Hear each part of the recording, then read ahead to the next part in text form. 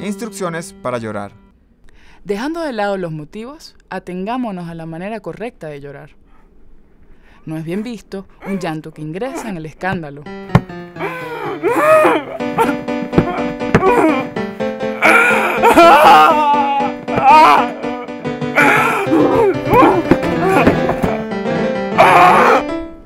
Tampoco es aceptable el tímido llanto que insulta la sonrisa con su paralela y torpe semejanza.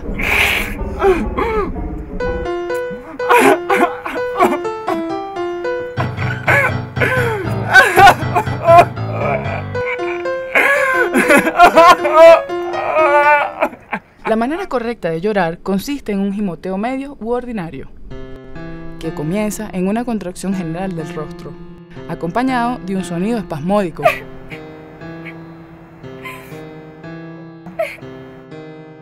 Para llorar, dirija la imaginación hacia usted mismo. Y si esto no le resulta, puede imaginar muchas situaciones que le ayuden a inspirarse. Llegando al llanto, se tapará con decoro el rostro, usando ambas manos con la palma hacia adentro.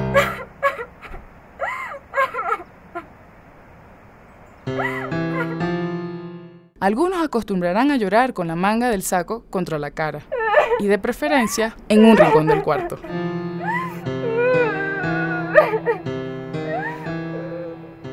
Paulatinamente aparecerán mocos. Estos últimos al final, pues el llanto se acaba en el momento en que uno se suena enérgicamente. Duración media del llanto, 3 minutos.